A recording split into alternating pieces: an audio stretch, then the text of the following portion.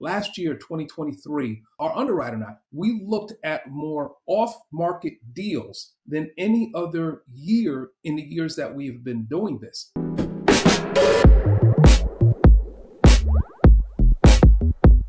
What is happening, to DeRosa Insiders community? It's Matt Faircloth. Welcome to the Cashflow Digest Show. As like I said, my name is Matt. Our company, and maybe even a company you could work with, is the DeRosa Group, and we're a company dedicated to transforming lives through real estate. That's what we do. Is we show people how to do. We teach people how to do it. We help people do it that want to invest with us. Anybody that wants to do this, we're here for you. Before I get into my article here that I want to talk about for current event, let me take a minute and bring in my brother from another mother, my co-host today on the show, Hervé Francois. How are you today, Hervé? What's up, my man? Brother from another mother. How you doing? How you doing? I'm good, man. I'm good. I'm good. I'm good. You hoping for an early spring, or are you okay? Six more weeks of winter. I'm hoping for an early spring because I hate winter. I hate cold weather. I really Everybody does. Everybody does. Really. People that claim to love cold weather are only saying that because they think that it makes them sound tougher. It's actually not true. No human being really likes cold weather because cold weather can kill you. You know, yeah. like you're in cold long enough, you will freeze to death. You're not gonna heat yourself to death in that. Right. You know, but as long as you got a bottle of water, you're okay in hot weather right? Yeah, exactly. yeah, yeah, yeah, yeah. All the layers and the coats and ah, it's just too much. No, no, no, no, no. You got to keep yourself alive in cold weather, right? How are you today? Give me, give me some I'm good news. Right.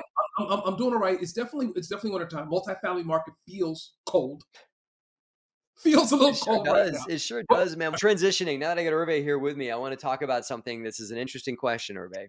A great article in, in, in Globe Street, uh, Hervé. Investors are still waiting for bargain multifamily deals, which begs the question: should if you're looking to buy multifamily today, Hervé, is today a good time? Like it is right now a good time to buy multifamily, or and I get you know forgetting about what DeRosa is doing for a second, we'll put that on the shelf and get to that. But if you're a, a newer multifamily investor, should you be mm-hmm. looking at deals right now, or should you? Oh, I'll just wait for three months or wait for whatever for the market to finish doing whatever has been doing. This yeah. article says that a lot of people, there's a lot of money sitting on the sidelines right now waiting yes. for multifamily to finish doing whatever it's doing before right. they get in. What do you think yeah. of that? Yeah, I, I, agree with that article's reports and its findings. I disagree with those folks that are sitting on the sideline. Look, on back in the Wall Street days, they used to say, as I'm sure they still say, that oh, all the smart money's on the sidelines. All the smart money is in stocks. Mm-hmm. All the mm-hmm. in these bonds and so this is smart money and everything else like that. And a lot of times we're talking about institutional, the Black Rocks of the world and so on and so forth, Starwoods and everything else like that. I would say it's always a good time to be investing in multifamily, man. Yeah. It's always a good time, right? Rates we all know are going to fluctuate. Supply and demand for apartments and so on and so forth is always going to fluctuate even more so depending on what city, what part of the country that you're living in, and so on and so forth. We know some of the transitions that took place in the Sun Belt versus the Midwest and Northeast last year, a little bit of that continuing this year, and so on and so forth. Man, listen, you got to be excited. You got to be pumped up to get into multifamily. I don't care if it's January, December. I don't care if we're dealing with 8% interest rates or 3% interest rates. It's not always about finding a good deal versus making a deal. That's why we're constantly involved, constantly looking, constantly mm-hmm. underwriting, constantly assessing where can we go ahead and make adjustments to the model that makes the numbers work. Obviously, not only for ourselves, but also for our investors, right? Within the motto of let's beautify this place to transform lives through real estate with helping our residents along the way as well. So it is a good time. It is a good time to be looking at deals. A few questions. Oh, for what you just said, it's an interesting thing to unpack here, right? People are like, oh, smart money. As a as a stock investor, is it a good right. idea to just watch to see what BlackRock or some ginormous firm that's looking to put a trillion dollars or so, and not hmm. really, a trillion, but you know, billions of dollars at work, right? Is yeah. it is it smart as a small time investor, somebody that's looking to put a couple thousand dollars to work in the stock market, as most people are, even, even, you know, 10, 15, 20, 40,000 dollars. Is right. it smart to do what the big dogs are doing to, to follow no. smart money? Absolutely not. Why? Absolutely not. I agree with you. Why? Yeah and, and that's whether you're investing, in my opinion, whether you're investing in stocks or you're investing in real estate. And the reason why it's not good to follow what the big dogs are doing, the big dogs will roll you over. They mm-hmm. can roll you over. Matt, it's almost like being at a poker table. You and I have been at similar poker tables in the past. I've said, I see how you play. I see how you play, right? And you go all in when the guy next to you hardly has a little bit left, right? He's like, ah, what's going on? What's going on? And he he can't compete. He has no leverage. I can make him fold with my chip stack, right? You can play like a big chip, and and playing like a big whale at a poker table is easy because I can yes. use my weight to win yes. a hand. And if I got a yes. marginal hand and you got pocket aces, I can right. force you all in, right? No doubt, you know, Absolutely. and maybe I catch up real quick in that, and and and that's and that's why it does not make sense to play like big money does. And so if there, and that's why I disagree with this article in some ways. If if if you're trying to put you know, a half a billion dollars to work in multifamily right now, yes, Mhm. right now is a good time to wait. Right. 100%. Because Right. there's likely going to be changes. You can certainly hop in in the behind the scenes stuff or whatever it is. Right. But Yep. at the end of the day, if you're playing like that, that's cool. Play like that. But there's Right. no way at all that a a operator that's our size or someone looking to get into the game should invest like big money does, right? Just because big money's on the sideline does not mean you need to be in the sideline, man. Absolutely. Because you're not trying to put a half a. I mean, God bless if you are. If you try to put a half million to work, God bless you. I want your phone number. You know, You know, the, uh, the Yeah. one thing I also got, I don't mean to interrupt, but Go ahead. one thing I also got to remember about, about big money, right? Institutional money, so called smart money, is that they don't need to bottom tick, right? They don't need to wait for a complete crash to take place before they go ahead and, and dip in. Now, you may see a person like, obviously like a Warren Buffett perform that way. The way he invests is very different than, let's say, BlackRock or Morgan Stanley or Goldman Sachs, right? He's an individual investor, but he's a very, very wealthy individual investor. Mhm. Uh, Warren Buffett will come in at the time when things are just bleeding all over the place, and it seems like the world is over. That's when Warren Buffett wants to go fishing and eating, right?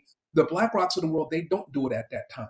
They will wait. They're not going to get in at the first inning, like let's say a Warren Buffett will after a crash takes place in whatever asset class or whatever sector. The, bigger, uh, the bigger money, that five hundred billion dollars that you're talking about, big institutional money, they can wait till they get into the fourth or fifth inning because they're playing the long game anyway. So bottom ticking for them doesn't matter. It's just a matter of getting involved, and then, like you said earlier, being able to use their strength, being able to use their Yeah. leverage to then start moving things around the table. And that's what they're market makers, right? And that's what I said. That's what I'm alluding to in saying like my big chip stack can make you fold, right? Oh, no, And- absolutely. Yeah, and BlackRock can come in and materially move the price of a stock by their dollars, right? absolutely. We as absolutely. multifamily investors are not going to move the market, right? All we can do is hope to participate in it, right? Big money like that can make a market move, right? And unless you're trying to pull a GameStop and, and make Right. the and make the market move on your own by a collaboration of a lot of people, which you can't really do in multifamily anyway, right? At the end of the day, the, the better way to do it, if you're looking to invest in multifamily, and and, and, I, it, it's an interesting contrarian. I haven't heard this argument enough about why Mhm. multifamily is a good thing to invest in right now. My man Eric Platter nailed it, right? High Yep. rates. th- This is what you got right now. You got high Mhm. rates. A lot of people are in the waiting place, They're sitting over waiting on rates to drop. Right? Not a good time buy multifamily. I'm going to wait for rates to get cheaper so I can get in. Well, guess what? Everybody else is saying that too, right? absolutely. You're not the only one watching interest rates like I am, right? So Absolutely. at the end of the day, rates come down, that opens up more competition. Rates are a little bit higher right now. The, your competition's less. That's when you want to buy, right? 100%. If interest rates go down, that'll drive up the value of what you own anyway. So if you buy something on high rate, if rates go down, rates are it's going to pop back up in value. Brilliant Absolutely. point, Eric Platter. Thank you for sharing Absolutely. No, I agree with Eric 100%. Yeah. I said the same thing. I said the same thing at one of our BiggerPockets uh, boot camp sessions last winter when really a student would say, Hey, everybody, what direction do you think interest rates are going to go? When do you think they're going to come down and by how much and everything like that? I said, Listen, hey, hey, hey, time out, slow down. It doesn't really matter. It doesn't really matter because, you know, look, you can. Can't go you can find that answer by going ahead and polling 20 different economists out there that's going to give you 20 different answers no lie all i want to know is where's the money? More so than where the interest rates are going. Where's the money? If the money's on the sidelines i want to be fishing. I want to be hunting. I want to be looking for deals. Because then i know i'm going to be submitting offers in a less competitive environment. I'm not going to be submitting offers and having to go ahead Mhm. and take my offer up by $50000 or $60000 it's going to be moving the cap rates all over the place and so on and so Yeah, forth. yeah. so so I, I prefer it. I remember when rates were very, very low, Matt, back just in 2022, particularly early 2022, late 2021. I mean, at that time, Matt, we were going in on, okay, hey, call for offers. I don't. is- I don't want is- those days to come back. People, are like, "Oh, I want. I want low interest rate. I got to tell you, man. I, the last thing you want is low rates to come back because I remember those days, Hervé. You'd be looking at a deal. I remember we were looking at deals, uh, you and I together, and the deal would end up trading for twenty percent more than the asking price. Right? It's like this is crackalacky. I feel like I'm, I feel like I'm chasing a freaking balloon here. You know what? all cash. To some of them were all cash deals, Yeah. right? We said 20% higher. People were submitting LOIs 30 days before they were even due. People were saying the market.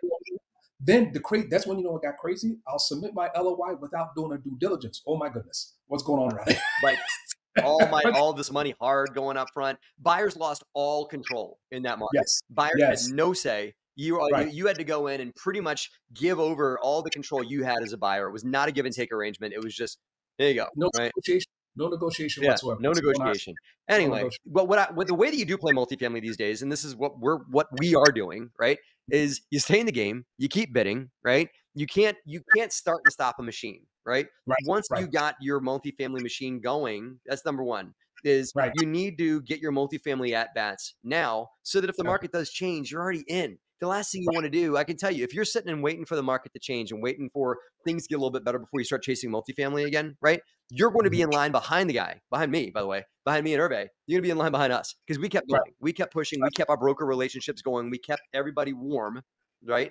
And so if the market does change, we're going to be all over that because we're already in. Our machine's already moving, you know, right? Absolutely, if you absolutely. if you decide you're going to start your machine up and build it up and get it going when the market gets better get behind me in line yeah, know, exactly, right? because i'm already i'm already at the table you know we're Yeah. already in those conversations we're already bidding deals when the market's not you know as favorable when the rates are high so proverbial doubt. rate right number No two doubt.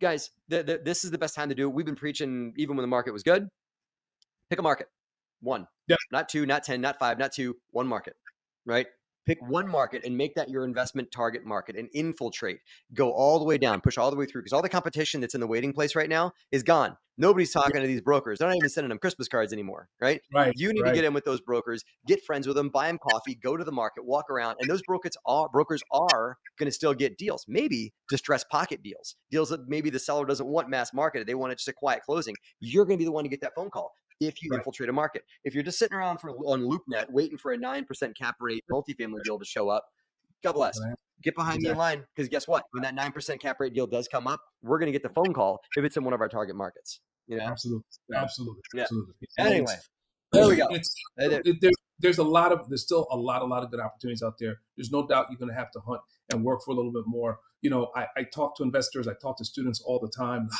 so hard finding a deal. It's so hard finding a deal. Let me tell you, I, I've been in this for six years, Matt, and you've been in it for longer, obviously. And these are what investors and students are telling me all the time. So hard to find deals. So hard to find deals. It- when we were in a low interest rate environment, because it was so competitive as you are submitting offers on a deal, you had investors come to the sideline and say, ah, you know what? Too competitive out there. I'm going to wait. Okay, fine. Now, fast forward. Hey, man, how's it going? Haven't seen you in the past year. You, you, you submitting any offers? You doing any deals? Nope. Ah, no, the rates went up. No, rates Wait. too high, so I'm gonna wait. Wait, Hey, you were waiting when it's an rates interesting were point, Now man. you're waiting when rates are high. When the hell are you going to get Let's involved in take the it. Let's take it this way, okay? And that's how we'll bring it home today, okay?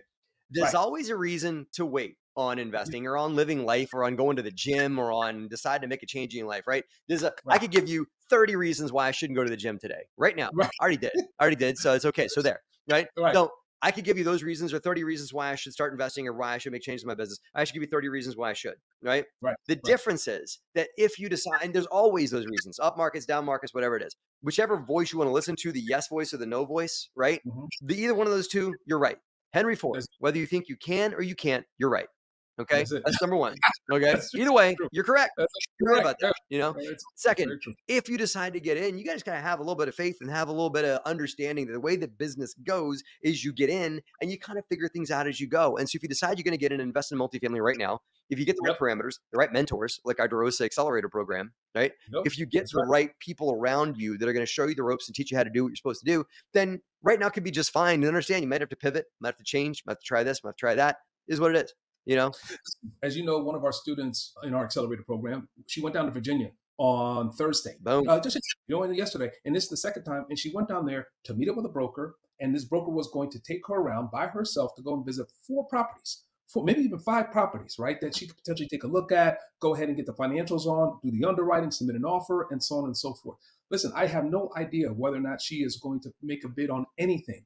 But at the end of the day, what she's doing, and I want to, I gave her a virtual high five because she's going down there and establishing a relationship with the broker. He sees that she's serious. She went down with a broker credibility package, say, this is my acquisition criteria. These are the things that I'm interested in buying, you know, certain number of units and vintage and so on and so forth. And now he keeps that. And for whatever the market does, where for whatever interest rates go, he's going to know that he has a potential buyer in her that he's always going to be able to go ahead and submit deals to. So what is she doing? She might not be buying right now in a high rate environment. Oh, I'm going to wait. I'm going to be on the sidelines like BlackRock and Blackstone. Mm-hmm. But what she's doing is she's getting involved. Yep. She's getting involved in the process of acquiring a deal. And one of that process is going out, making relationships with brokers, like you said, take someone out for coffee or something like that, right? Just meet them at a diner and talk to them about what you're interested in, where you like to go. So she's taking them, she, she's meeting up with them. She's showing him the markets, the neighborhoods within Virginia that she's interested in investing. And then now she's established a relationship with him. So he's going to be able to continue to send her deals. She buys one of these, great. She doesn't, just as great.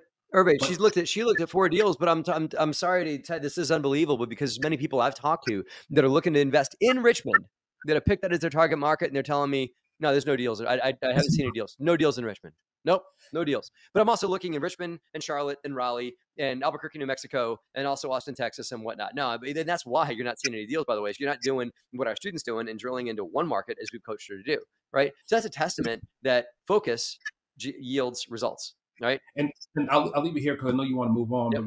Folks know, right here at DeRosa, we own about 1,700 multifamily units. Last year, 2023, our underwriter and I, we looked at more off market deals than any other year in the years that we have been doing this. But the reason why we were able to see all of those off market deals is because of the relationships that we have with our brokers. Yep. Because if you don't have the relationship with the brokers, the brokers aren't going to be sending you those off market deals. So a lot of times, Matt, when you hear people saying there's no deals, there's no deals, there's no deals, the number one thing I have to, I'm not going to ask you about interest rates and everything else like that over the market. I'm going to say, well, what's the relationship like with some of the brokers in the market that you're looking to go ahead and acquire properties? There you go. These relationships with them. Because if all you're doing is sitting to wait for a listed deal to come, yeah, I can understand why you're saying there's no deals, there's no deals. But if you do have a relationship with brokers, all of a sudden there's some deals. Yeah. Take that home, some, guys take that, home, take that home for consideration uh, in that. So that's our thoughts on those that are in the waiting place right now on multifamily. I really appreciate your thoughts. If you guys want to hear more Absolutely. about what DeRosa has to say on this kind of thing and how we teach people how to focus on one market, go to derosagroup.com forward slash accelerator. See you guys there.